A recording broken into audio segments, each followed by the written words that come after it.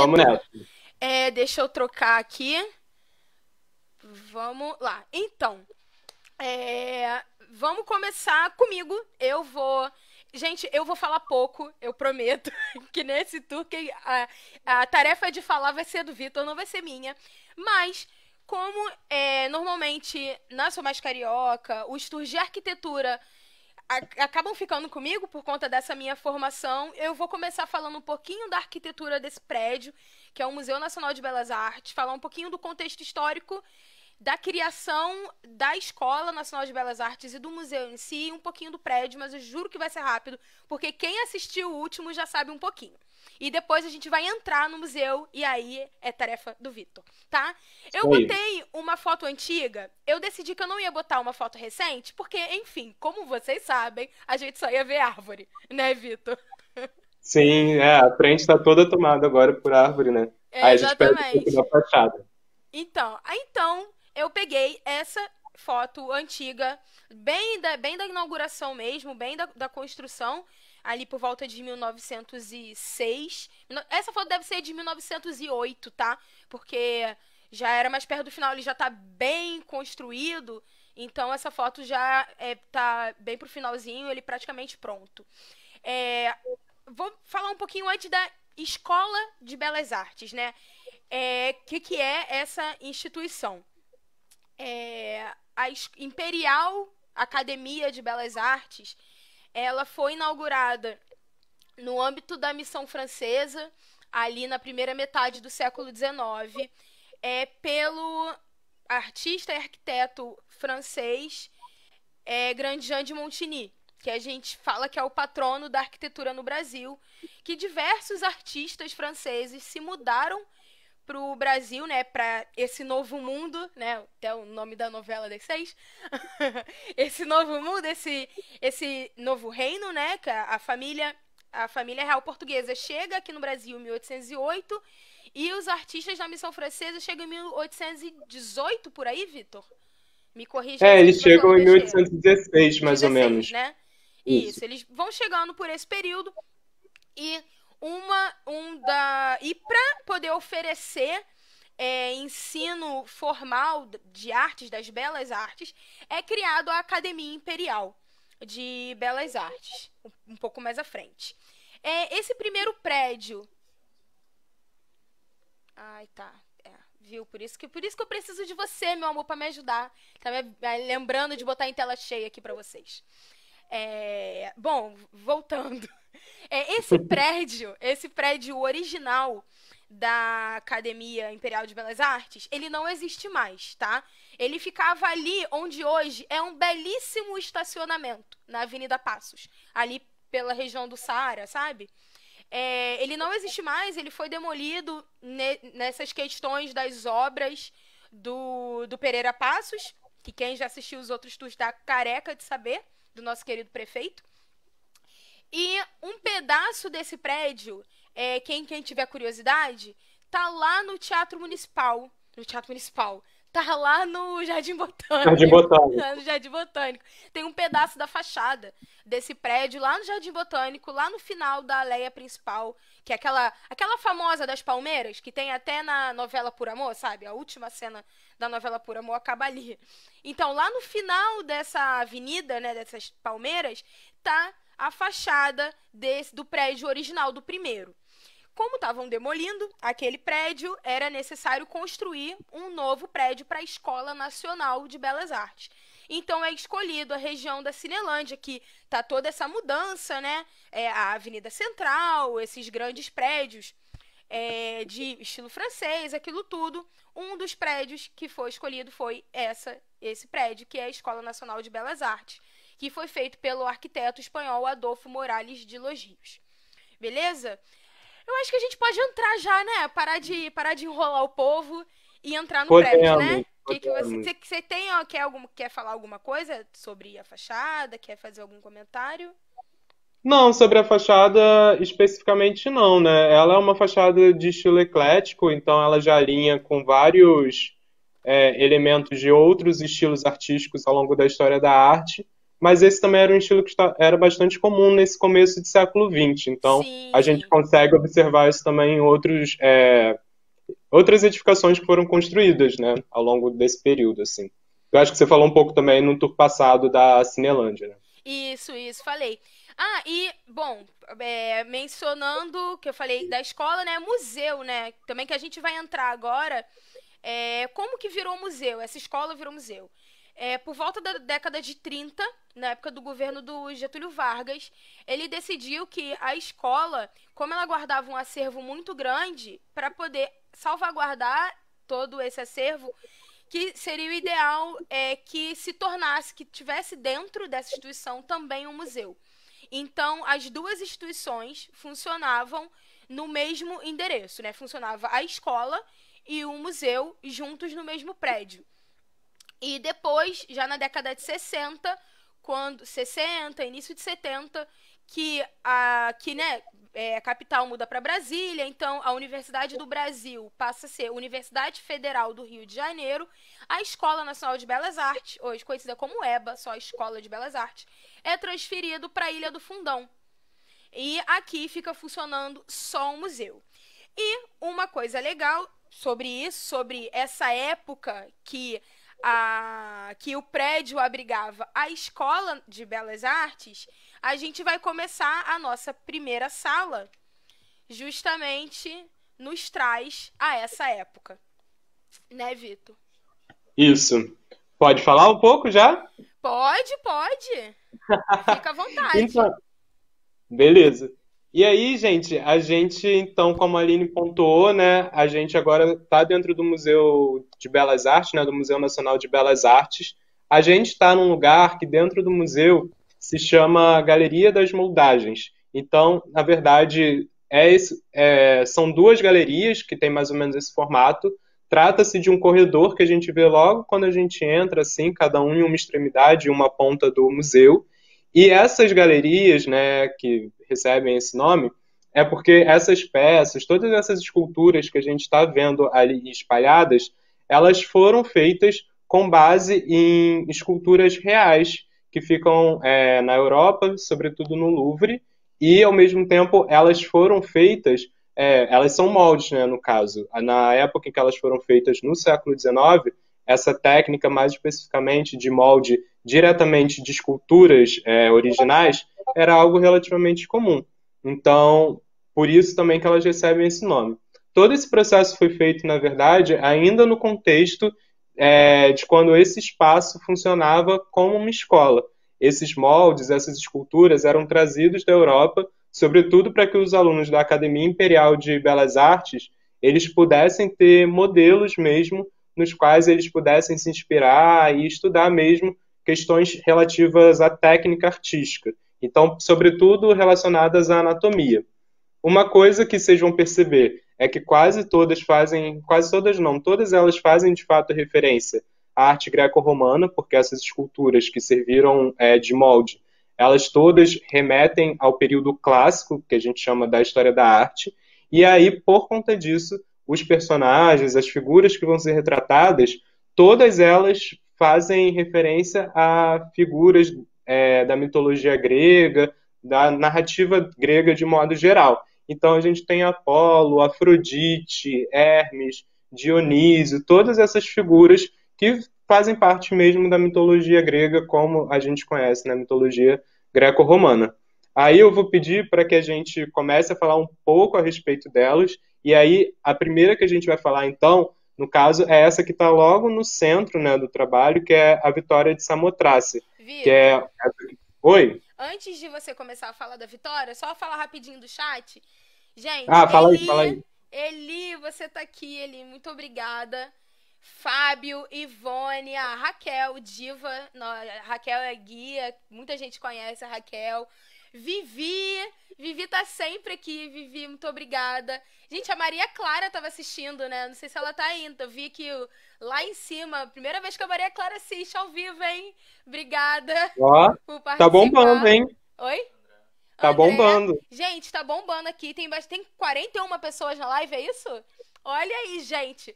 Muito Ai, obrigada. Ah, e olha só, tem mensagem aqui da Renata.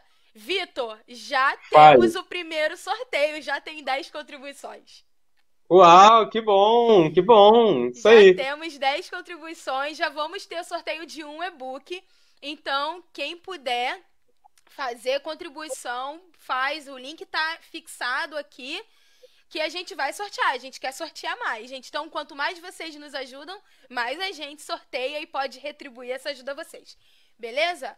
Agora é contigo, Vitor. Fala da Vitória. Eu amo.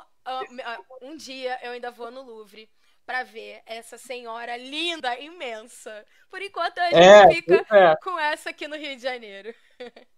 Pois é.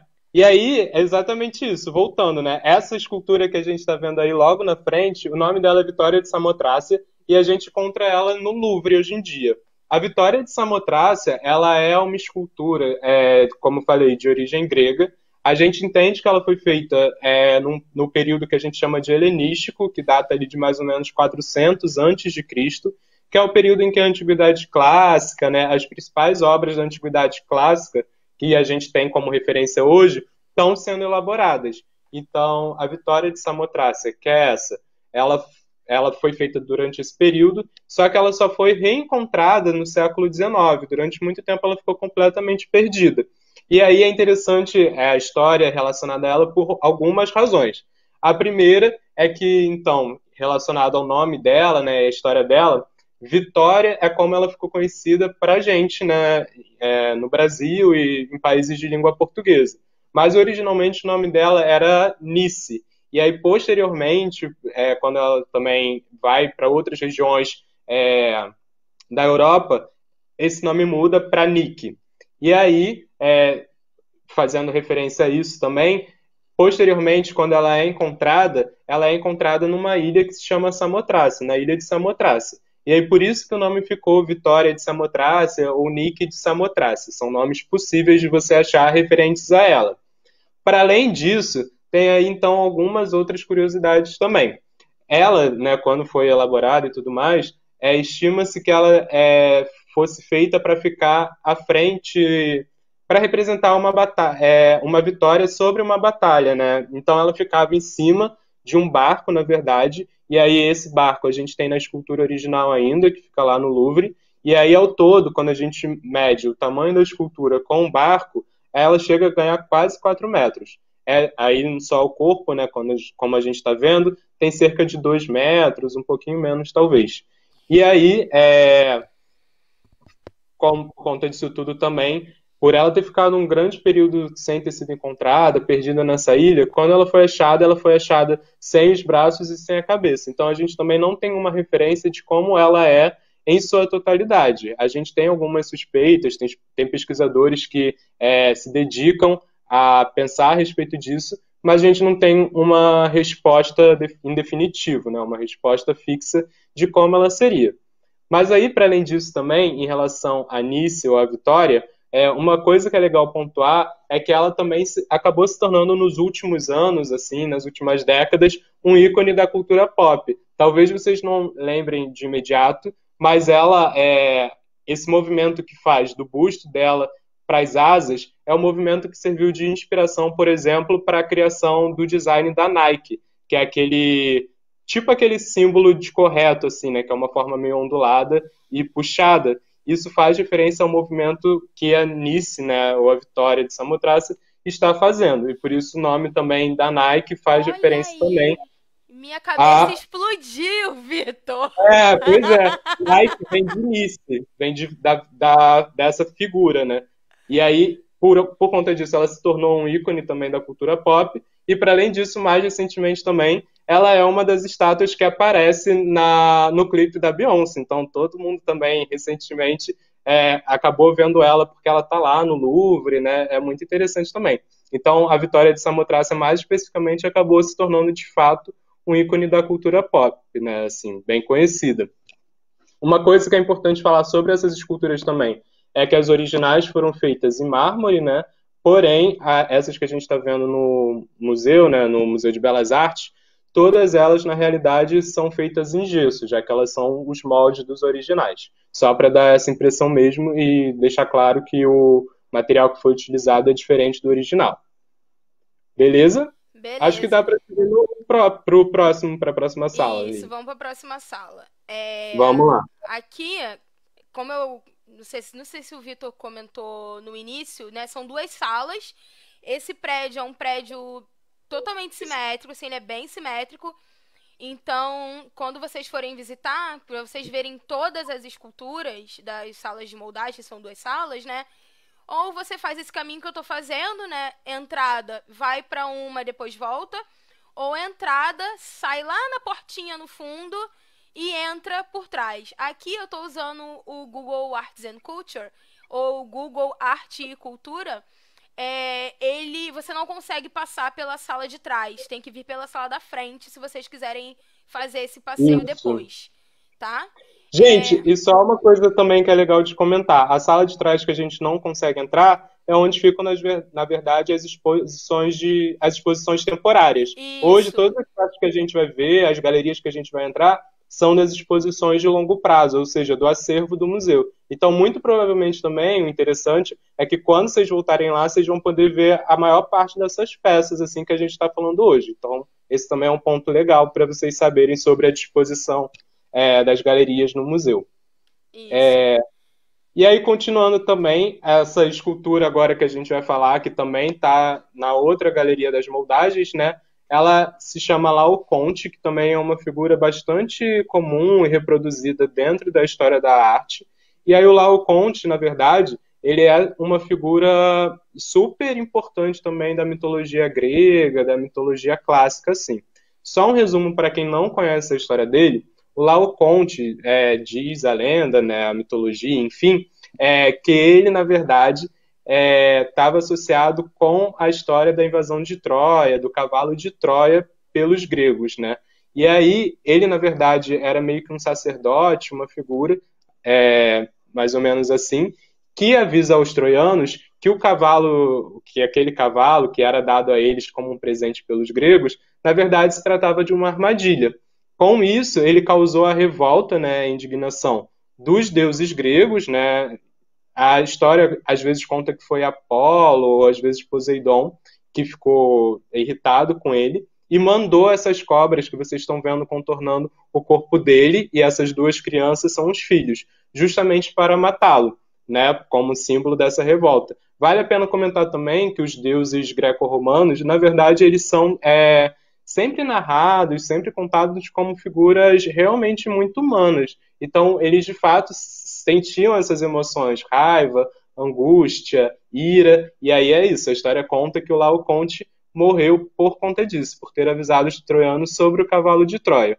O desenrolar da história né, é que os troianos de fato aceitaram o cavalo porque eles acharam que, na verdade, essas cobras que atacaram o Laoconte e seus filhos era, na verdade, uma punição dos deuses troianos por eles não estarem é, pelo Laoconte não está aceitando esse cavalo. E aí o resto da história é como é retratado né, no livro e tudo mais. Em relação também a essa estátua mais específica, é, acontece que o, o Laoconte ele também ficou muitos séculos, muito tempo é, perdido, né? Então ele estima-se que ele também foi feito no período helenístico, é, mais ou menos ali um antes de Cristo, e aí ele ficou perdido até o século XVI, até mais ou menos 1504. E aí com isso também ele acabou perdendo algumas partes dele, inclusive o braço que a gente vê levantado, o braço direito dele que a gente vê levantado, ele na realidade é a estátua original quando foi achada não tinha ele. E aí na época isso causou uma certa comoção, porque as pessoas queriam completar a estátua, né, saber como é que a estátua seria originalmente. E Michelangelo foi um dos artistas que é, se dedicou ao estudo dela mesmo.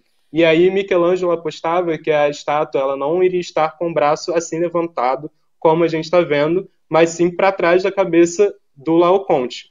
Acontece que os pesquisadores da época, todos eles, a grande maioria, né, acreditou que ele estaria assim, com a mão levantada, e aí, por conta disso, a estátua foi refeita desse modo. Posteriormente, décadas depois, foi achado o braço do Laoconte e aí se comprovou que, na verdade, quem estava certo era o Michelangelo. Ah, é, então, Michelangelo, é, né? é, pois é, o Michelangelo, ele, é, ele tinha um entendimento da arte muito grande, ele sabia, de fato, entender as expressões corporais, as formas, né, e tudo mais. Então, de fato, é Michelangelo que estava certo. Eu Mas, fiz um, por fiz um curso, Vitor, de História da Arte. Curso rápido Aham. no, no Paço Imperial.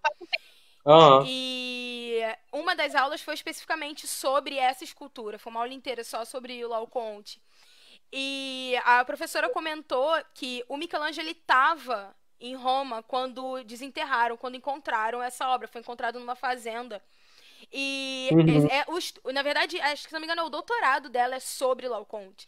E ela comenta que o Michelangelo mudou o estilo de pintura dele. Ele passou a reproduzir mais e melhor essa, essas pessoas mais musculosas depois que ele viu essa obra. Eu vou dar um zoom aqui. Gente, é assim, a qualidade da captura não é tão boa, mas dá pra ver. Gente, dá pra ver a veia aqui, sabe? Os músculos, É, a a gente perna. consegue realmente observar costela. todos eh, os músculos, né? Enfim, toda essa- essa questão técnica. E aí vale a pena pensar também que é justamente isso, né? Essas esculturas elas vieram para o Brasil para que servissem de modelos para que os alunos da Academia Imperial de Belas Artes pudessem aprender o desenho, pudessem aprender a técnica. Então isso também é curioso por conta disso, assim, né? O quanto também é, o Brasil nesse momento é, conseguia manter esse diálogo, esse fluxo e receber esse tipo de trabalho, né? E aí, essa, a- tanto a Vitória de Samotrácia quanto o Laocoonte talvez sejam as principais esculturas que a gente, é, assim, mais notórias que a gente tem nas galerias das moldagens, porém, ao todo, estima-se que tenham cerca de 200 esculturas feitas desses moldes que eu falei para vocês. Então, na verdade, algumas ficam nesses corredores, mas a gente sabe também que tem muito mais na reserva técnica, no acervo do museu, e que retratam outros temas também, mas, sobretudo, temas relacionados à mitologia grega. Beleza? Beleza. Acho que foi essa parte, né, Aline? Quer Acho que apontar mais alguma coisa? Fica à vontade Não, também. eu acho que foi. É, só falar rapidinho, a gente tá, a gente viu, né, o primeiro andar. Essas duas salas são as salas principais. E o que a gente vai ver daqui pra frente, a gente vai ver um pouco da sala de século XIX e um pouco da sala de século XX, que são, como o Vitor falou, que são as exposições de longa duração do museu. O museu é muito grande, a gente não vai falar de todas as obras, senão ia ser uma live de 24 horas aqui, 24 horas É. de gente falando com vocês, se a gente fosse fazer todas as obras. É, só para aproveitar esse tempinho aqui de transição, enquanto isso eu vou trocar aqui a tela pra gente. É, a gente já tem 13 contribuições. A- Nesse momento que eu estou falando agora, temos 13 contribuições, mas pode ser que no momento que vocês me escutem falando tenha mais. Vocês escutam com um pouquinho de delay, como eu tinha comentado na última live. E a gente já passou, passou de 50 pessoas na live uma hora aí. Não sei quanto tá agora, porque o número tá sempre mudando aqui. Muito obrigada mais uma vez. Pessoal, tá, o chat tá bombando. Gente, pode fazer pergunta. Às vezes eu não consigo ver exatamente na hora o chat. Mas o Thiago tá aqui do meu lado. Quando tem pergunta, ele sempre me avisa. A Gabi perguntou sobre a questão da Nike, mas você falou logo depois. Então já respondeu da inspiração do Ela nome. perguntou o quê? Nike. O Ela nome? É, que se a Vitória tinha inspirado a Nike, né? E você Sim, acabou respondendo, mesmo sem ter lido o chat. O Vitor não, infelizmente, o Vitor não tem acesso ao chat. Não sei se você tá conseguindo ver no seu celular, Vitor. consegui, botei aqui, botei Conseguiu? no mudo. Ah, eu, às vezes eu dou uma olhada assim, mas é, como eu tô falando também, ve- muita coisa acaba passando, gente. Mas a gente vai dar um jeito de responder as dúvidas conforme foram, forem Sim. surgindo. É, pode, pode perguntar, gente. Pode perguntar. A É, gente vai interagir com o chat. A Anitta tá falando que dormia nas aulas de História da Arte, mas nessa aqui Ah. você não vai dormir. Essa aqui eu tenho certeza muito que você não vai É porque é dormir. muita coisa. O professor de História da Arte fala muito também. E quando começa a falar de arte, aí mesmo é que não para. Então eu entendo também a Anitta. Ah, ó, Mas eu- a Gabi postou aqui o nome dos contribuintes, ó. Ivone, Jailza, Lúcia, Raquel, Adriana, Valdira, o Washington. A Adriana ganhou o livro na live passada. Jovita, Anitta, Flávia e Beth. Gente, muito obrigado. E ó, vocês estão vendo que tem nome dobrado aqui, né? Isso é macete, gente. Você pode doar, tipo, ah, eu quero doar 20. Você pode doar duas vezes 10, se quiser. São dois números pro sorteio. Mais chance de ganhar, tá? Fica ligado. Vamos subir agora. A gente subiu os degraus, foi pro segundo andar do museu. Aqui a gente está entrando na sala de século XIX. Eu vou para minha colinha. Eu tenho uma colinha aqui das obras de arte que a gente vai falar para saber onde parar na sala, porque senão, gente, é muita coisa. Esse, vocês que já assistiram outros tours, vocês sabem que eu, eu entro, eu fico usando o Google Street View. É, esse que eu estou usando é um aplicativo específico para museus que o Google tem, que o nome é, é Arte e Cultura. Vocês vão ver aqui em cima, tá escrito em inglês, meu computador é inglês, fica Arts and Culture. Mas vocês podem jogar lá em português, Google Arte e Cultura. Tem alguns museus do Brasil. Você pode caminhar pelo Louvre, você pode ver a Vitória original né? E vários museus. E, então, eu vou navegando. A sala de século XIX, ela começa muito com arte sacra, né? Que era uma questão muito forte, né, Vitor, do início do século XIX. Mas a gente vai começar falando sobre duas obras que estão aqui, uma de frente para outra. E qual dos dois lados? Começar por Toné? Pode ser, pode ser. Então vamos, Vamos chegar, deixa eu parar aqui na frente. Deixa eu encontrar a posição aqui, Vitor. Pera aí. Eu acho que eu vou ter que fazer aqui e dar um zoom. Isso. Ah, melhor, eu acho. Isso. Pronto. Agora é contigo. Então, gente. E aí, como a Aline estava pontuando, subindo, então a gente vê a galeria do século XIX. Vale a pena comentar que, como a Academia Imperial de Belas Artes foi criada no século XIX, boa parte da coleção e do acervo tem peças desse período. Inclusive, o Museu de Belas Artes, hoje, quando a gente fala de arte no século XIX, ele é a principal referência que a gente tem mesmo. É, então, assim, durante muito tempo ele foi conhecido por ser um museu que abriga peças desse período, mas hoje ele também, na sua coleção, a gente consegue ver é, obras, né, trabalhos do século XX, até mesmo chegando ao século XXI. Mas é interessante a gente pensar isso, porque, na verdade, é, quando a gente está estudando esse museu, né, quando a gente está estudando história da arte, e o Museu de Belas Artes é a principal fonte de pesquisa mesmo a respeito do século XIX. A Aline falou lá embaixo, quando a gente é, começou o tour e deu aquele contexto sobre a Academia Imperial de Belas Artes, é, ela falou o quanto ela estava relacionada com a chegada da missão artística francesa. E isso é verdade a missão artística francesa ela começa em 1816. É, os, é, esses artistas eles vêm da França é, em 1816 e nesse ano mesmo a gente já tem a idealização do que seria a Academia Imperial de Belas Artes. Então, assim, é, é tudo realmente dentro do mesmo período e dentro do mesmo contexto. Entre esses artistas da missão artística francesa, os principais nomes que a gente vai se lembrar é, talvez sejam Debré, né? Mas também tem o Toné e o Grandjean de Montiguinho. O, é, o Grandjean, a gente não vai ver tantas coisas dele aqui dentro do Museu de Belas Artes, porque na verdade ele ficou mais encarregado pela criação de obras públicas, de edificações. Ele é o responsável, por exemplo, pelo prédio original da Academia Imperial de Belas Artes e também pela Casa França Brasil, que fica ali próximo do CCBB. Aquela arquitetura do Grandjean de Montiguinho.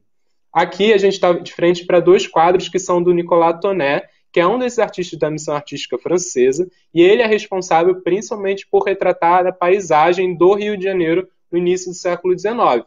E aí, esses desenhos que a gente está vendo, esses trabalhos que a gente está vendo, seriam da Carioca. Eles são imagens do que era o, o, o Morro de Santo Antônio no comecinho do século XIX. E aí a gente vê, de fato, né, 200 anos depois, como todo o processo de urbanização, de modernização que a cidade foi sofrendo nos anos depois, nos anos posteriores, foi de fato modificando completamente essa paisagem. Então, assim, a gente vê como tinha muito mais verde, muito mais árvores, muito mais natureza. Inclusive, ali onde era o Largo da Carioca, tinha uma grande lagoa também, que era a Lagoa de Santo Antônio. Então, é, nessa época do Tuné, a lagoa já tinha sido desfeita, mas a gente consegue ver ainda alguns elementos da paisagem dessa época que foram se perdendo. Nessa é, tela, né, nesse quadro da direita, inclusive, é mais ou menos é, é como se fosse a visão da onde hoje é a igreja de São Francisco, por exemplo, das igrejas de São Francisco e da igreja de Santo Antônio, que tem ali no Largo da Carioca. Não sei se vocês têm familiaridade e tal, mas seria mais ou menos a vista que se teria dali de cima nessa época. E aí, é, do outro lado, né, já encaminhando para o Debré também, é, que é outro grande artista da missão artística francesa, é, ele vai ser mais responsável por retratar o cotidiano, sobretudo as pessoas. Mas ele também tinha uma forte relação com a, a família real portuguesa que estava aqui no Brasil. Então ele retratou, né, aqui a gente está vendo, por exemplo, Dom João VI, a chegada de uma comitiva, enfim, retratando, é, para além do cotidiano da cidade em si, o cotidiano dessa família real que também estava morando no Rio de Janeiro. Vitor, é, você uma tá me coisa... ouvindo? Tô, tô te ouvindo. Você tá me ouvindo bem? Tô, tô te ouvindo. É só porque vai fazer barulho na live. Eu não sei o que tá acontecendo, a minha câmera tá travando. Ó, voltou. Pronto, pode continuar. Tá, beleza. E aí, continuando, gente, o Debré, no caso, ele vai ser responsável, enquanto tu né, tá mais preocupado em retratar a paisagem, o Grandjean em fazer obras públicas, ele vai ser responsável por retratar as pessoas e esse cotidiano. Então aí a gente vê a família real, mais especificamente, né, Dom João VI e a chegada de uma comitiva, mas ele vai retratar outras cenas também.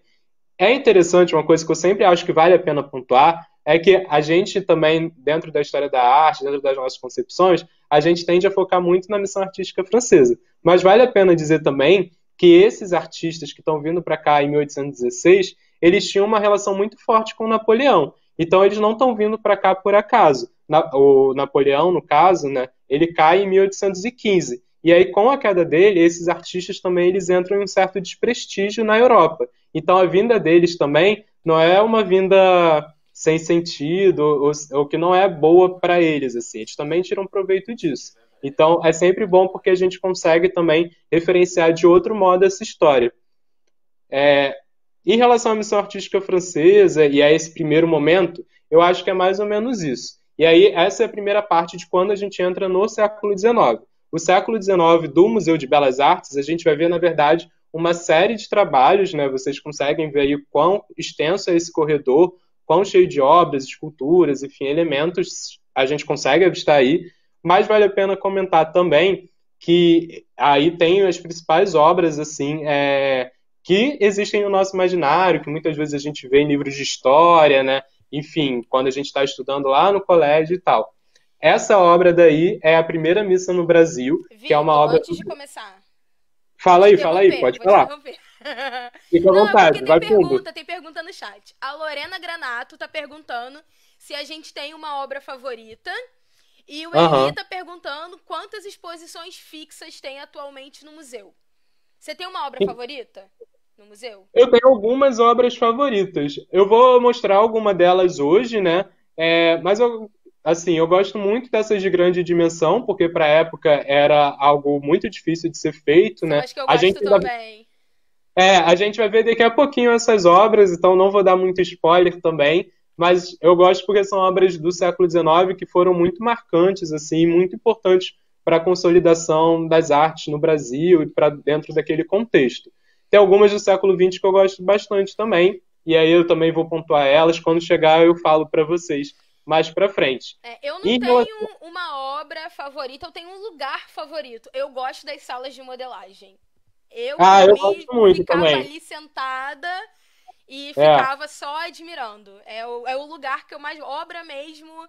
Não sei se eu tenho. Eu gosto de muitas, mas o meu lugar favorito no museu é a sala de modelagem. E exposição fixa, eu acho que são essas que a gente vai mostrar, né? As salas de modelagem, século XIX e século XX, né? Isso, exatamente. São três exposições fixas, que são essas que a Aline falou, só que elas são exposições fi fi Opa, exposições fixas muito extensas. Então, assim, demanda tempo, vai Sim, com tempo, são dias. são muitas obras.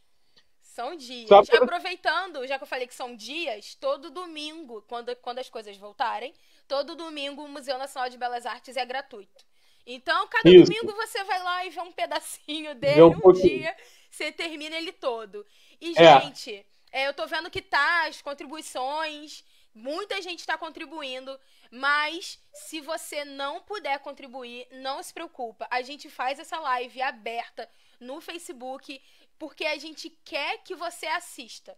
A gente quer que essa live atinja o maior número possível de pessoas. A gente quer passar o que a gente conhece, o que a gente estuda, eu, o Vitor, os outros guias da Sou Mais Carioca, para todo mundo. Então, se você está curtindo, compartilhando, muito obrigada. Você não pode contribuir, não se sinta acanhado. Assiste, continua assistindo, que a sua presença aqui já é maravilhosa. Aí eu tô falando e meu marido tá aqui atrás da câmera fazendo um monte, um monte de mímica. Gente, curte, compartilha. Isso pra gente já é muita coisa, beleza? Isso aí. Tem pergunta? Gente. Tem mais pergunta? Antes da gente começar na, na primeira missa, os artistas. O Vitor Rangel tá perguntando. Os artistas hum. vendiam essas pinturas ou foram todas doação para pessoas importantes, como reis, imperadores e afins? Eu acho que aí depende muito da obra, né? Se for encomenda. É. O que acontece é que a gente está vendo Aproveita muitas obras. Pra, responde, então, falando sobre a primeira missa. Você sabe para quem foi feita a primeira missa? Sim, então, a primeira missa ela é uma obra do Vitor Meirelles e ela foi feita é, não exatamente sob encomenda, mas o Vitor Meirelles ele foi um dos artistas que estudou na Academia Imperial de Belas Artes. E aí, ele inclusive ganhou uma bolsa para estudar lá fora, pela academia. E aí ele foi estudar em Paris, né, na França, e aí lá na França ele é, executou a primeira missa do Brasil, essa, esse quadro, né, a primeira missa no Brasil, como parte de seus estudos. Inclusive, a primeira missa no Brasil, é, segundo registros, né, segundo o que diz alguns pesquisadores, foi o primeiro é, quadro, a primeira pintura brasileira exposta lá fora, exposta em algum lugar fora do Brasil, porque o Vitor Meirelles estava inserido dentro desse contexto. E aí, aproveitando para responder a pergunta que é, o Vitor fez, é, aí vai depender realmente de obra para obra. Vale a pena comentar que muitas dessas obras que a gente está vendo expostas no Museu de Belas Artes, elas estão ali porque elas foram feitas nesse contexto da escola, da Academia Imperial de Belas Artes. Então, boa parte do que a gente vê na coleção são, na verdade, trabalhos de alunos. É porque esses alunos eles ganharam uma grande notoriedade, né? O Vitor Meirelles, o Pedro Américo, é, enfim, é, Eliseu Visconti, que depois vai fazer a decoração do Teatro Municipal, por exemplo. É, enfim, nomes importantes da história da arte, eles vão ser encontrados dentro do museu, porque, em geral, eles foram alunos da academia dentro desse período. E, Muita coisa também foi também, feita... Victor, Fala aí, fala aí. É, sobre isso, né, de que muitos. O museu tem muitas obras porque muitos também eram alunos. É aquilo que eu falei no início, que a escola funcionava aqui, depois a escola passou lá para Exatamente. PJ, é, alguma, alguma parte do acervo foi transferido também, porque nem, como a escola funcionava junto, a escola era dona de boa parte desse acervo. Então, quando as duas instituições Sim. se separaram, uma parte desse acervo também se separou. Então, quem já estudou no fundão, fez arquitetura ou fez, ou fez belas artes, ou já estudou ali na ilha fazendo outras coisas, conhece, já ouviu falar do Museu Dom João VI, que fica lá no sétimo andar. Isso. E que tem boa parte, muitas obras do século XIX que era isso, pertencia à escola e no desmembramento foi transferido. Então, como um complemento do Museu Nacional de Belas Artes, também vale a pena visitar lá o Museu Dom João VI no prédio da Belas Artes. Exatamente. E também, é, aproveitando para responder, complementar a resposta da pergunta, vale a pena também falar que muitas dessas obras, além de serem objetos de estudo, elas também eram realmente foram feitas sob encomenda, sobretudo da família real. Vale a pena falar que a Academia Imperial, durante todo o século XIX, a academia, né, a instituição de artes que a gente tinha no Brasil, tinha uma relação muito forte com a família real né, que estava por aqui, tanto Dom Pedro I quanto Dom Pedro II também. Então a gente vai ver a seguir, né, daqui a pouquinho, outras obras que foram feitas especificamente sob encomenda. Em relação à primeira missa no Brasil, tem alguns pontos interessantes de serem pontuados. É, o Vitor Meirelles, como eu falei, é o responsável por essa obra. Ele fez ela quando ele estava lá fora, né? Então tem influência também do neoclássico, que era um estilo que estava muito em evidência na França dessa época, mas também é, tem pinceladas, tem é, elementos do romantismo, que a gente vai ver que é um movimento muito comum no século XIX, na literatura, mas que também chega às artes. E a gente percebe isso através dessa visão que é completamente romantizada, do que seria de fato a primeira missa no Brasil. Evidentemente, a primeira missa no Brasil não foi desse jeito, não, gente. Totalmente Desculpa acabar com a né? fantasia. Né? Oi? Totalmente idealizada, né? Imagina, é totalmente idealizada, porque ela tem uma relação. Exatamente, é totalmente idealizada porque ela é fruto desse pensamento da época também, que é o romantismo. Então, no romantismo a gente também tem uma referenciação maior dos povos nativos, né, dos povos ameríndios e tudo mais, mas eles são quase sempre retratados é, de uma forma romantizada, que é o que a gente está vendo aí também na pintura do Vitor Meirelles. É sempre importante pontuar isso também, porque é, as pinturas, elas, as pinturas e a arte de modo geral, elas também podem expressar questões de seu tempo, daquele tempo que está sendo produzido. E é sempre interessante a gente conhecer a história por trás, porque a gente consegue entender melhor é, esses tipos de manifestação, o que está exatamente por trás dessa construção, do pensamento do artista, enfim, para que a gente possa sempre estar tá revisitando essa história que está sendo construída. Eu acho que em relação à primeira missa do Brasil foi também. Não sei se tem alguma dúvida aí no chat. Eu vou fazer um, um, comentário, mas um comentário genérico, que em algumas obras de arte, é, essa questão de pintar essas pessoas que estão aqui em primeiro, em primeiro plano de costas pra gente, é uma maneira de nos inserir dentro da obra. Então, é como se nós também estivéssemos ali, junto com esses índios, observando né, essa missa acontecendo. É, não é específico dessa obra, é uma coisa geral na história da arte, mas é legal de saber dessa intenção do artista, né, da, da gente também estar tá pertencendo à obra, a gente está ali, né, com a obra. Sim, então, sim. vamos seguir. O próximo é a Batalha dos Guararapes, Vamos pro né? próximo. Né? Isso, a próxima é a Batalha de Guararapes, que é esse quadro enorme aí que a gente está vendo é, nesse corredor aí também. E aí, gente. Em rel... Beleza. Em relação a esse quadro, a Batalha dos Guararapes, é um quadro também bastante, é, enfim, referenciado, que a gente vê muito nos nossos livros de história e tudo mais. Ele também é um quadro feito pelo Vitor Meirelles, e aí, aproveitando o que eu tinha falado um pouco atrás, respondendo aquela pergunta, ele foi feito sob encomenda. Quem pediu que ele fosse feito foi, na realidade, Dom Pedro II, que era o imperador do Brasil na segunda metade do século XIX. Vitor Meirelles já era um artista relativamente conhecido, já tinha tido é, é, é, frequentado a Academia Imperial de Belas Artes e tudo mais. É, e dentro desse contexto da segunda metade do século XIX, é, já nas décadas de 1870, 1880, é, Dom Pedro II ele resolve marcar de fato, é, enfim, uma certa identidade nacional através é, de momentos específicos da história do Brasil. Então, a Batalha de Guararapes, que é esse quadro que a gente está vendo aí, feito pelo Vitor Meirelles, na realidade, ele é, ele é elaborado, né, segundo, tendo como referência a expulsão dos holandeses lá no século XVII, mais ou menos, é, do Nordeste do Brasil.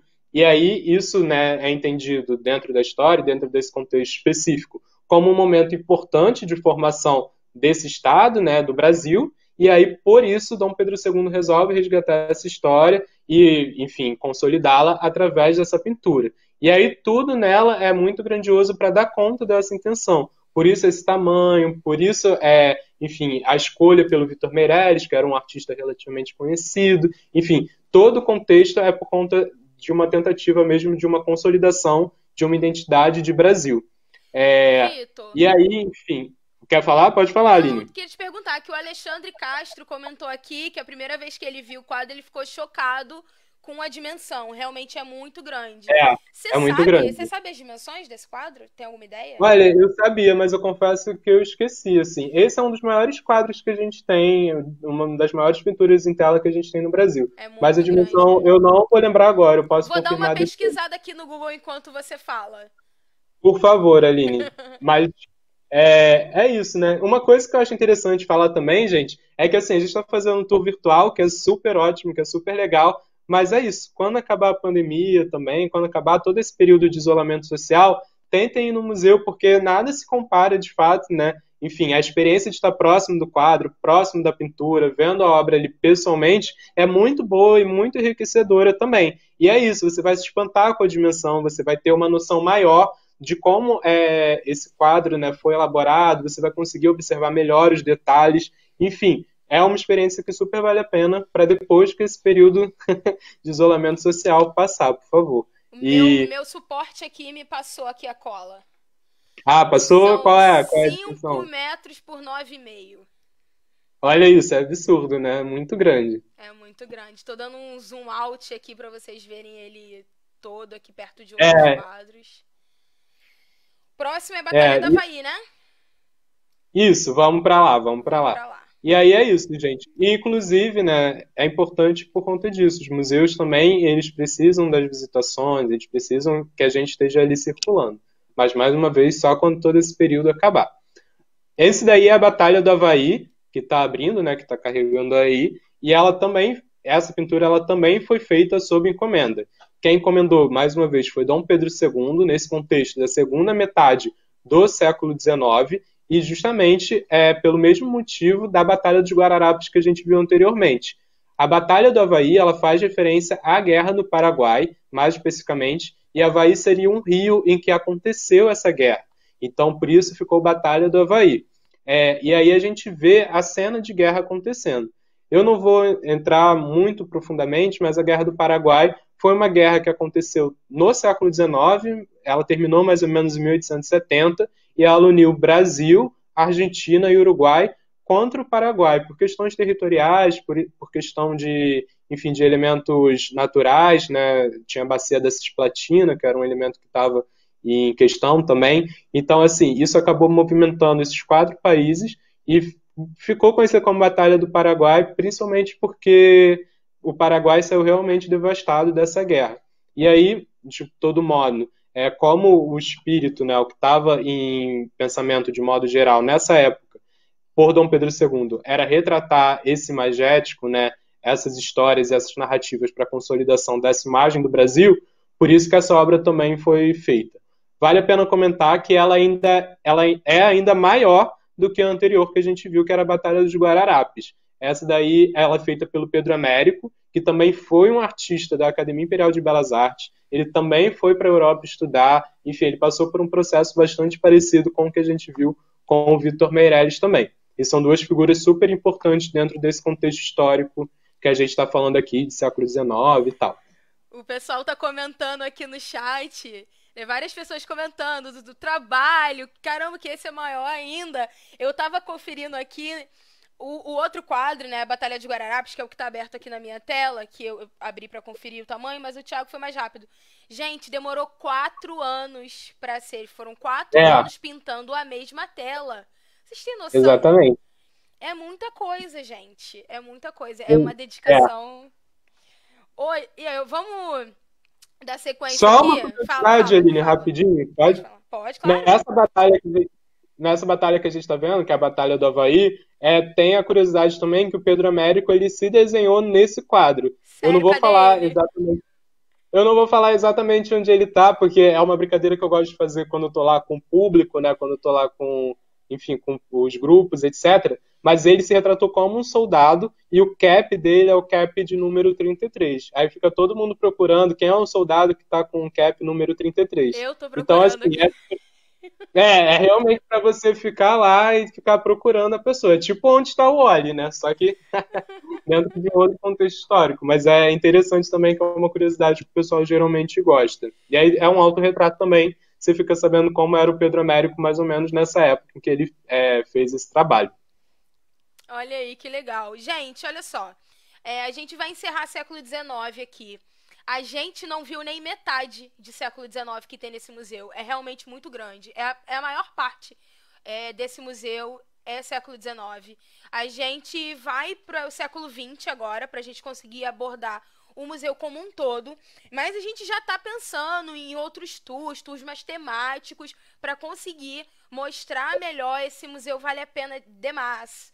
Então, vai ter podem ter certeza que vai ter outros tours do Museu Nacional de Belas Artes com o Vitor para a gente conseguir mostrar outras coisas. Beleza? Então eu vou pular direto aqui para o século XX, eu vou direto para Tarsila. A gente Boa. vai começar mostrando essa senhora vestindo essa roupa vermelha linda.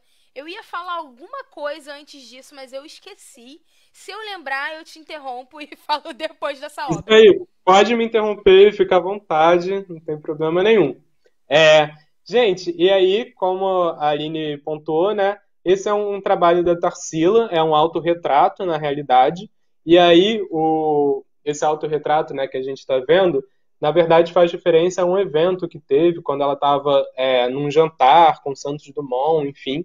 E aí ela chegou com essa roupa e na época ela, enfim, isso foi motivo para conversas e tal, e ela resolveu se é, fazer um autorretrato dela com essa roupa. O que é interessante marcar agora, que a gente está entrando no século XX, é, é que justamente, né, a gente está vindo de uma época em que a tradição artística, né, ela passava necessariamente pela instituição, pela Academia Imperial de Belas Artes. O que a gente vai ver a partir do começo do século XX, muito por conta da Semana de Arte Moderna, é que a gente vai ter uma ruptura com isso e a gente vai ver que o Rio de Janeiro ele perde essa hegemonia, né, esse domínio das produções artísticas e produções artísticas de outros lugares também vão começar a surgir. A Tarsila do Amaral, ela é uma artista que ela desenvolve uma relação muito forte com os artistas da Semana de Arte Moderna, é, apesar dela não ter participado da Semana de Arte Moderna, mas aí, geralmente, quando a gente pensa nela, a gente também pode falar da Anitta Malfatti, do Di Cavalcante, do Vitor Brecheret, enfim, de figuras né, de artistas que foram muito importantes para esse começo do século XX. E aí, como eu falei, eles criam uma ruptura com a instituição, com a Academia de Belas Artes, né, com a Academia Imperial de Belas Artes.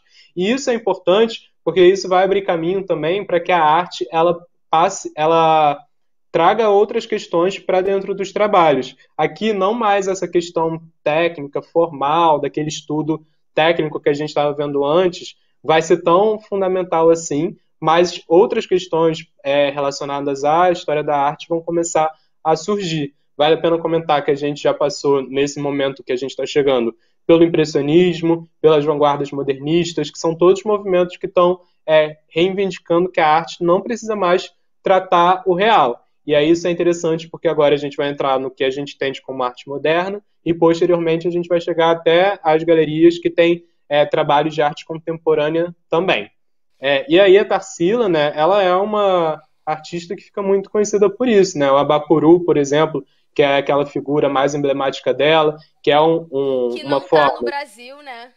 Que não está no Brasil, diga-se de passagem. Eu não... não vi, eu já tive duas vezes em Buenos Aires e nenhuma das duas eu consegui visitar o Malba para ver. É, não, a, o Abapuru tem isso, né, que é uma das obras mais clássicas, assim, mais icônicas da Tarsila do Amaral, e infelizmente não está no Brasil, então acaba dificultando mesmo o acesso presencial a ela.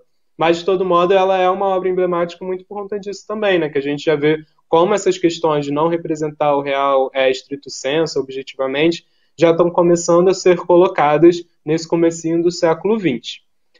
É, vamos para o próximo, então, que é Antes de ir para o próximo...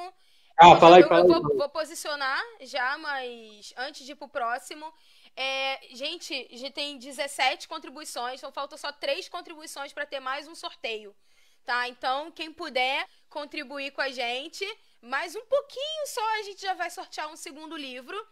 É, queria mandar um beijo pra minha tia, que acabou de dar um oi aqui no chat. Oi, tia, tô com saudade.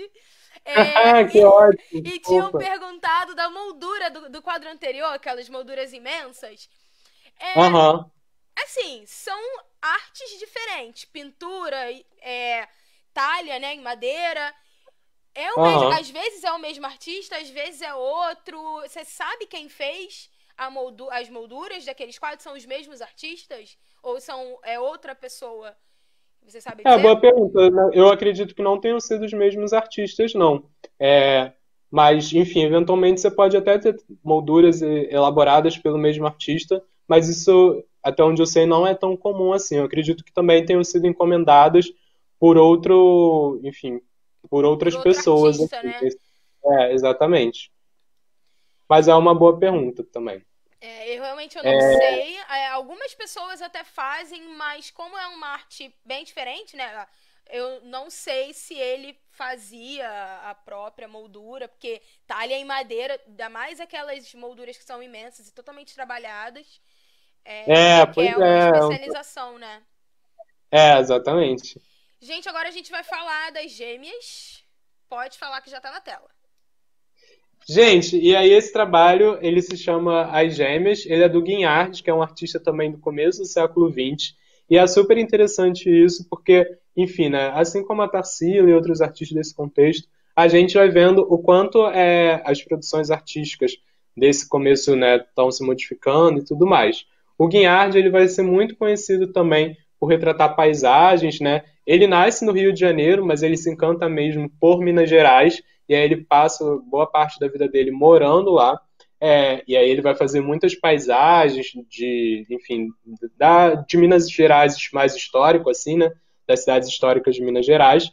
Mas essa especificamente é um trabalho que se chama As Gêmeas. São duas é, irmãs, né? No caso, a Leia e a Maura, que eram é, filhas de um senador, de um político da época, com quem o Guignard tinha um certo contato, certa proximidade.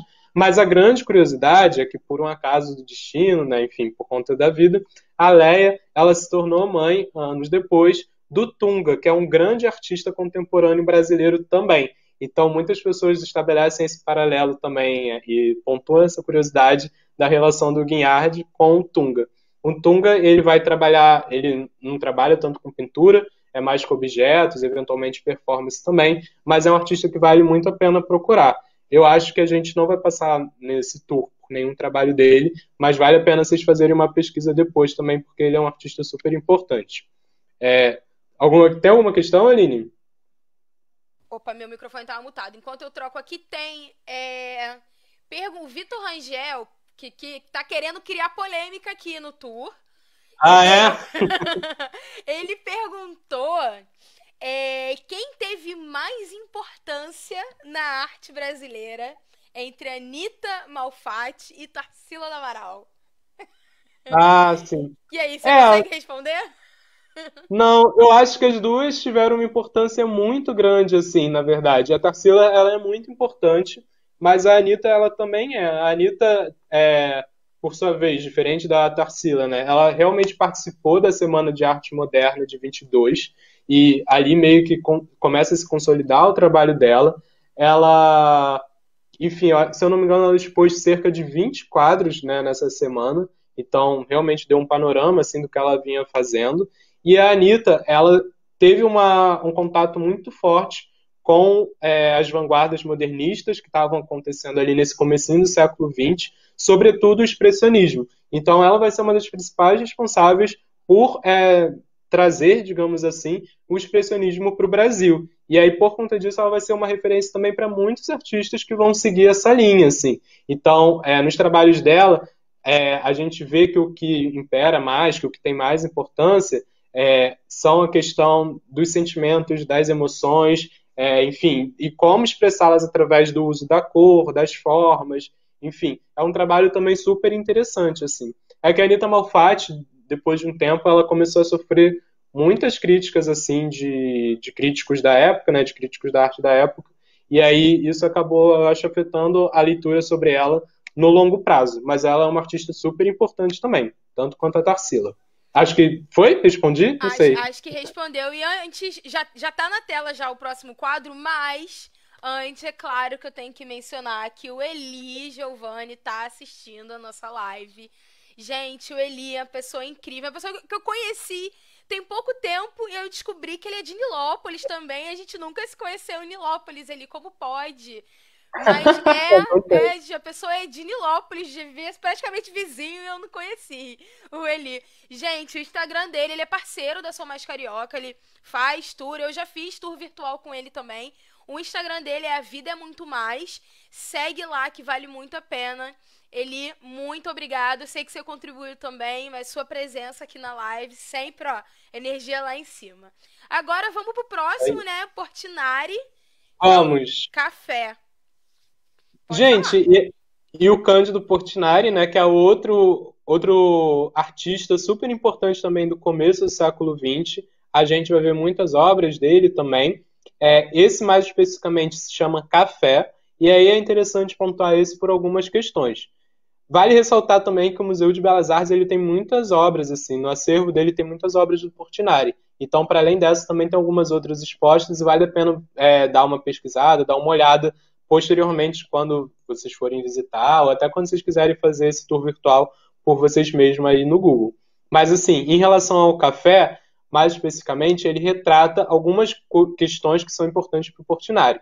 Em relação, primeiramente, às cores, né? O Portinari usava muito tons terrosos e tudo mais nos seus trabalhos. E para além disso, uma questão que também eu falei um pouco com a Tarsila, que é essa, isso de você não precisar mais representar as formas, né, enfim, é, as figuras de um modo tão é, técnico e objetivo e realista como a gente vê antes na Academia Imperial. Então, é, ele, né, a gente observa que o braço, a mão, enfim, até o pé, ele, ele é todo.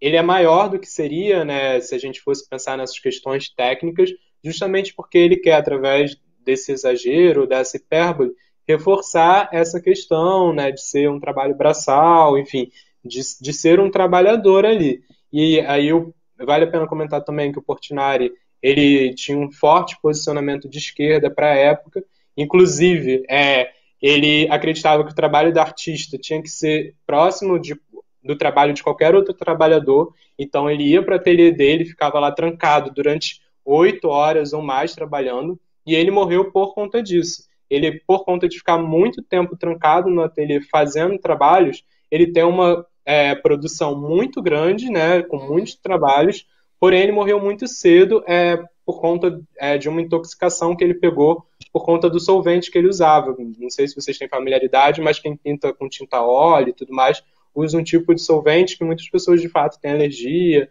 enfim. E foi por conta disso que ele morreu, por conta desse, dessa relação muito forte.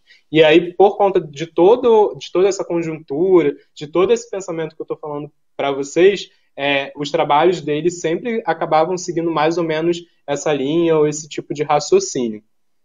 É, e aí, né, no caso, o café está retratando esses trabalhadores que estão ali colhendo o café, que estão na plantação, etc. Retratando essa mão de obra. É, eu tive um professor, semestre passado, professor de arte moderna, não sei porquê, uhum. mas ele detesta Portinari. É, não, era, tem... falar de Portinari na aula dele que o cara já ficava doido. É, o Portinari tem sido revisto, tem muitas, muitos pesquisadores que realmente não gostam e tal. Mas, enfim, dentro desse contexto, ele era realmente uma figura importante, assim. Vitor, vê se eu tô aí... colocando a tela certa. É essa aqui? É isso mesmo, é isso mesmo. Isso. É essa. E aí, gente, agora a gente chegou numa outra parte também, é, caminhando pelo século XX, né? E aí esse trabalho é uma pintura do Roberto Burler Marx, que eu não sei se vocês já ouviram falar dele, mas ele é muito conhecido por ser um paisagista, na verdade. Entre a, o principal trabalho dele, que a gente tem como referência, é, são os Jardins do Man, né? Os Jardins do Man, não, desculpa, os Jardins do Aterro do Flamengo. Então, todo aquele jardim, todo aquele projeto paisagístico que a gente vê por ali, foi elaborado pelo Burler Marx. E aí, por conta disso, muita gente associou ele diretamente ao paisagismo, mas ele também foi responsável por fazer algumas pinturas, ele também pintava e tudo mais. Vou aproveitar. Esse daí. Fala aí, fala aí, fala aí. Aproveitar para fazer um jabá de quando tudo passar. Inclusive é um trauma também ao mesmo tempo. A gente faz o tour pro sítio dele, né? É, é muito legal ah, é de visitar que ele morou nesse sítio. Então, todas as espécies que ele usava no, no paisagismo dele é, era plantada por ele, ele aclimatava, ele fazia é, a, os jardins dele lá, que ele gostava muito de trabalhar com a cor e a textura da planta, criando formas gráficas, né? E é um trauma porque eu precisei cancelar esse tour por causa da pandemia. Ele ah, tava, é, ele tava agendado para o sábado e tava tudo certo. Já tinha é, bastante venda até de tour é, tipo, três horas da tarde estava confirmado, não, a gente vai funcionar. E quando deu 5 horas da tarde, saiu a portaria de que todos os museus iam ter que fechar. E a gente precisou cancelar esse tour. Então, é um trauma também por causa disso. Mas é, muita gente conhece o Bullier Marx, ele ficou muito famoso pelos jardins que ele fez, um dos maiores e mais famosos é o Aterro, mas ele, ele era artista plástico, né? A formação dele era em artes plásticas. É, não, exatamente, assim, é interessante pontuar isso, gente, do tipo, quando a gente pensa em um artista, algum, algum produtor nesse sentido, é, as pessoas elas nunca são uma coisa só. Então ele era muito conhecido pelo seu trabalho como, paisagi como paisagista, mas ao mesmo tempo ele também se é, dedicava a outros tipos de manifestação artística, a outros tipos de produção artística. Então por isso não é incomum, por exemplo, encontrar pinturas dele. É, enfim, né? E esse trabalho mais específico, que ele foi feito ali no final da década de 30, ele retrata todo todo o processo não, mas parte desse processo de modernização, de cidade, né? A gente vê um, é, uma referência a um trem, né? Fazendo referência às estradas de ferro, que vão ser muito importantes ali na virada do 19 para o 20. Então, é justamente tentando dar conta desse começo do século 20 as transformações sociais pelas quais o Brasil e mais especificamente o Rio de Janeiro está passando. Ao mesmo tempo, quando a gente é, para para analisar a tela, né, esse trabalho específico, a gente vê mais uma vez que a questão da reprodução formal, próxima da realidade, enfim, né, daquele jeito que a gente estava vendo antes no século XIX, já não é mais tão importante. As casas muitas vezes elas aparecem apenas indicadas, então elas não são tão detalhadas, não são tão aprofundadas quanto eram antes. Não porque o artista não soubesse fazer, mas é porque a intenção, o interesse não era exatamente esse, era é pensar as formas, as linhas, as cores, enfim, os elementos da pintura através de um outro modo, através de outras possibilidades. Então é interessante por conta disso, eu sempre gosto de pontuar aí, porque o Burle Marx ele sempre é conhecido pelo paisagismo, mas ele atuava de outras formas. E aí tem o jardim né, do Aterro do Flamengo, mas ele também é responsável pelo jardim do prédio da Petrobras, aquele jardim que tem no BNDES também, ali que dá no Largo da Carioca. Enfim, ele faz uma série de jardins públicos que a gente tem por aí, né? É, então, aproveitando, é você mencionou os jardins, perguntaram aqui, o Vitor Rangel perguntou se ele fez o jardim do Palácio do Catete. Vitor, eu não sei se em algum momento ele fez algum tipo de intervenção, mas o jardim mesmo não é dele. O Palácio do Catete, ele é uma casa do século XIX, século XIX. Ela pertenceu ao Barão de Nova Friburgo, se eu não me engano, antes de virar a casa dos presidentes. Então ele é um jardim bem antigo que já sofreu alterações, porque antes o mar batia ali nos portões. É, então, ele, ele é um estilo mais de jardim romântico, jardim inglês. É, a gente consegue ver isso pelos lagos artificiais, a gruta artificial. Lembra muito, aí eu não sei também se ele colocou a mão, porque eu não, não é, confesso que eu não sei muito sobre o jardim do museu.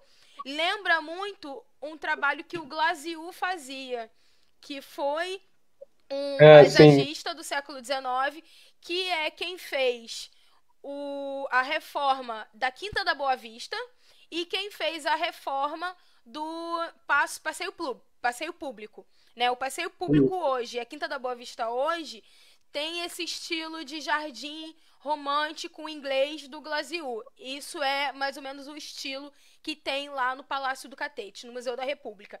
Se o Bule Marx algum dia esteve lá, fez alguma intervenção, não sei dizer, mas eu acredito que não, porque eu não consigo ver muito do estilo do Bule Marx no, ali no jardim, porque ele gosta de usar é, muitas plantas, espécies diferentes, criando texturas, criando cores para fazer uma espécie de grafismo. Se você sabe o canteiro central ali de Copacabana, né, que tem é, aqueles grafismos, isso é Bule Marx, sabe? É criar grafismos e formas com as cores. Ele fazia isso com as plantas. E o meu, meu computador aqui do lado ligou a tela sozinho, mas acho que não interfere aqui não. Vocês não vão conseguir ver o que está passando aqui atrás, não. meu, meu outro computador que fica aqui atrás é muito louco. Eu, eu, às vezes eu tenho que desligar ele, porque o monitor, às vezes eu tô dormindo, e o monitor resolve acender, assim, do nada, minha corda. é, é, tem alguma coisa ali. Mas vamos seguir. Vamos para a próxima obra. Gente, e esse trabalho aí também, ele também foi feito nesse contexto, né, de primeira metade do século XX, mais ou menos, se eu não me engano. E, na verdade, ele retrata uma cena aqui do Rio de Janeiro que é super hoje em dia corriqueira, né, naturalizada, assim, mas que na época tinha uma atmosfera completamente diferente. Essa cena que a gente está vendo aí, né, o nome do quadro é Lapa, e essa cena que a gente está vendo aí mais especificamente retrata o que seria a descida da escadaria Celaron, isso lá no começo do século XX. Então a gente vê que ainda não tem os azulejos né, do Celaron, um trabalho que o Celaron fez por ali, e que a atmosfera é completamente diferente. Lá atrás a gente vê a igreja que tem ali também próximo da Lapa, para quem está mais, é, mais ou menos situado e tal. Então a gente consegue pegar essa referência boa. E eu gosto de mostrar ela porque as pessoas, né, elas não sabem que existe esse trabalho e mesmo assim, é, eu acho que muita gente também não tem a referência do que era. Vale a pena comentar que Santa Teresa hoje, né, e a Lapa também é um atrativo turístico super movimentado e tal, mas que durante muito tempo ela não teve essa característica, que ela era um bairro até bastante pacato, residencial. Isso é fruto de uma transformação que foi acontecendo, sobretudo na segunda metade do século XX em diante. E aí eu acho que essa obra do Iberê Camargo a gente consegue ter uma boa dimensão disso, ver como é que era mais precisamente. Eu estava aqui, até perguntar quem era que tinha feito, porque eu estava vendo aqui, estava lendo aqui o, a fichinha, até tentar dar um zoom para ler, mas estava parecendo ser. Eu não conheço muito obra assim de cabeça do Iberê, mas eu já fui. Você já foi a, a Porto Alegre? Em Porto não, Alegre, nunca fui. Em Porto Alegre lá, tem o né? Instituto Iberê Camargo, né? É, o prédio, Vitor, o prédio é incrível. A arquitetura contemporânea, assim. É, o prédio é incrível, muito bonito mesmo. Vale a pena. Se você, quando acabar isso tudo, se você quiser viajar para algum lugar, se puder ir a Porto Alegre e conhecer o Instituto Iberê Camargo. Vale muito a pena. Ah, é um lugar que eu tenho muita vontade de conhecer. E foi legal você pontuar isso também, só uma, enfim, uma curiosidade, é que o Iberê Camargo depois ele vai ficar conhecido por outros tipos de trabalho, o trabalho dele vai chegar muito mais próximo de um certo abstracionismo, enfim, né? As formas elas vão se apresentar de uma outra maneira, então também é legal a gente ver por conta disso. E aí, aqui a gente já vai meio que se encaminhando na realidade para o final do que seria a galeria do século XX, então a gente vê que os trabalhos eles já chegam é, num lugar né, em que essa representação das formas, né, essa representação formal e objetiva da realidade não faz mais tanto sentido assim. Então a gente observa isso tanto nas pinturas quanto nas esculturas. Então são trabalhos que já se aproximam do abstracionismo ou quando a gente, enfim, é, é, é um pouco o que eu já tinha apontado antes. Nesse momento, é, entra um, talvez uma carga, um teor mais subjetivo mesmo na apresentação desses trabalhos.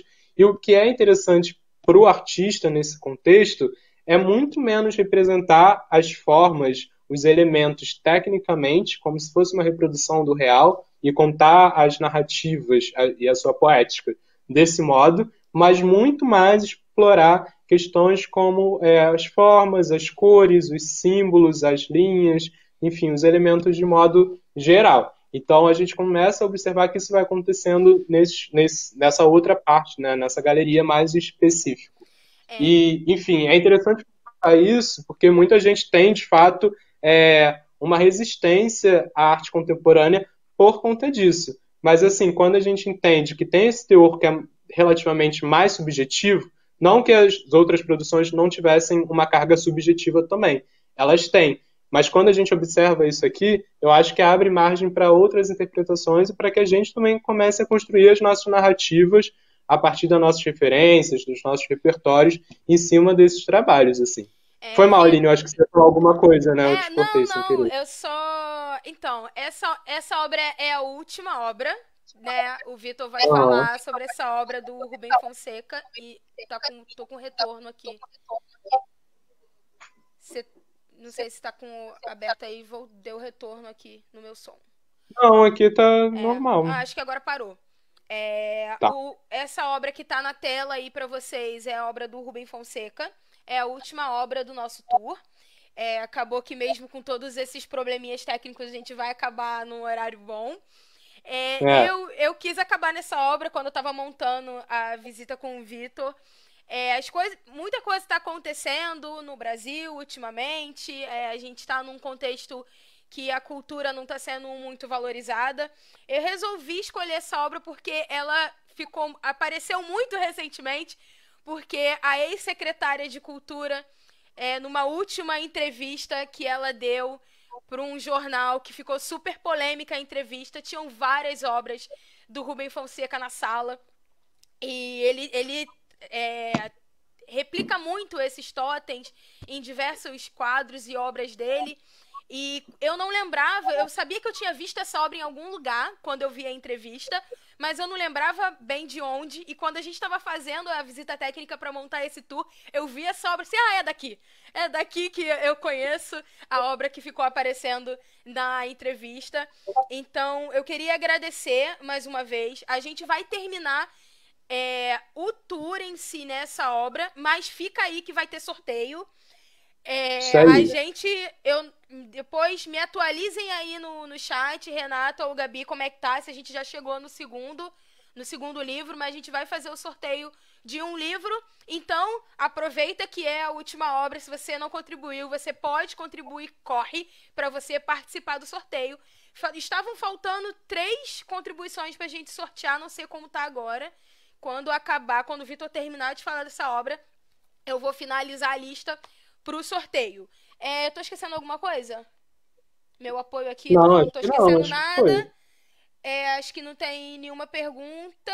Então, se tiver pergunta, a gente vai responder tudo quando o Vitor finalizar essa obra do Rubem Fonseca. Beleza? Podem fazer aí, a gente lê tudo no final. Vitor, com você. Tá, beleza.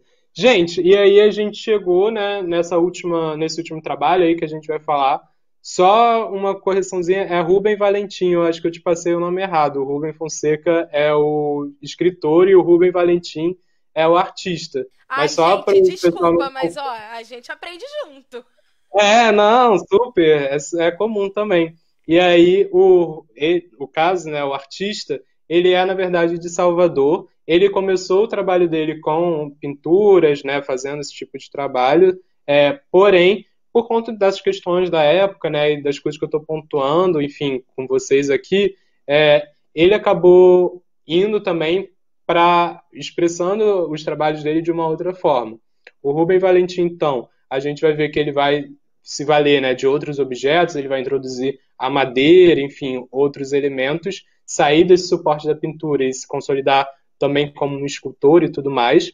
E aí, como falei para vocês, aqui não necessariamente a reprodução é, dos símbolos e das formas vai se dar de uma maneira tão objetiva quanto a gente via antes. Ele vai se dedicar a estudar, sobretudo, as formas geométricas. Vale a pena também comentar que o Rubem Fonseca ele, é, ele era candomblessista, né? Ele... Rubem Valentim, você Rubem foi contaminado. Até eu confundi agora. Rubem Valentim, gente, desculpa. Eu falei tanto nome errado que fiz o professor errar, gente. Não, é, até eu confundi. O Rubem Valentim, gente, desculpa. O Rubem Valentim, ele era, ele era do candomblé, né? Então, muitos elementos também é, que fazem referência a essa religião vão ser trazidos para dentro do trabalho dele, pensando conjuntamente com essas questões relacionadas à arte que eu falei para vocês. É, esse trabalho se chama Objeto Emblemático, ele faz parte, na realidade, de uma série. E aí, se você digitar Objeto Emblemático Rubem Valentim no Google, vão aparecer outros trabalhos que, enfim, se relacionam com esse, enfim, que é, faz parte de uma série, né? Então você pode também se aprofundar e ver mais, caso seja do seu interesse. E aí, de fato, quando a gente está fazendo o Museu de Belas Artes, essas galerias do século XX, chegando já ao século XXI, são de fato as últimas, assim. Tem alguns artistas importantes, como o Rubem Valentim que a gente está falando. Eu vou andar uma... até o final lá, enquanto você finaliza, para ah, as pessoas verem beleza. um pouquinho. É, tem as esculturas aí do Amilcar de Castro, por exemplo. Então são figuras, são personagens, né, personalidades muito importantes desse, dessa virada, né, da segunda metade do século XX, chegando já ao século XXI. Então, é, eu acho que o tour é mais ou menos esse mesmo. É, eu e a Aline, a gente tentou, de fato, pontuar, assim, algumas das obras mais importantes que a gente vê na coleção, reiterando que essas galerias que a gente viu são a coleção, são um acervo do museu. Então, quando vocês forem lá, depois que passar toda essa fase, são muito provavelmente essas obras que vocês vão ver. E aí vocês vão recordar de todas essas falas, disso tudo que a gente está conversando aqui hoje.